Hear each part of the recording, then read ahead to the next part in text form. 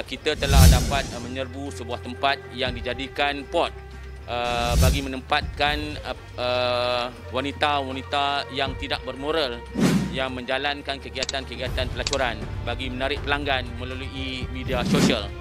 Dan uh, mereka-mereka ini uh, seramai 10 orang berumur antara 24 hingga 32 tahun berasal semua daripada Thailand dan uh, mereka ini telah menjalankan aktiviti-aktiviti kurang sihat ini selama sebulan dan uh, mereka ini disiasat oleh pihak uh, polis di bawah Atit Som. Dan kemungkinan uh, kita lihat sama ada mereka-mereka ini uh, menjadi mangsa penyeludupan manusia atau uh, migran atau uh, eksploitasi seks eh.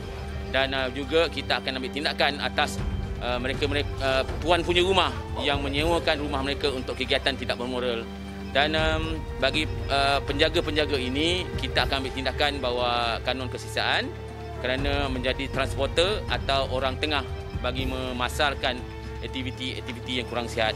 Jadi bagi pihak polis uh, ingin menasihatkan kepada orang ramai di luar untuk berfikir banyak atau 10 kali 20 kali daripada bersetuju untuk melanggan wanita-wanita seperti ini. Uh, kerana wanita-wanita seperti ini uh, membawa berbagai-bagai penyakit selain daripada penyakit-penyakit uh, HIV, mereka juga kemungkinan ada COVID-19. Jadi uh, kita akan bawa balik wanita ini untuk dites uh, dan akan uh, ditempatkan di rumah-rumah lingkungan wanita.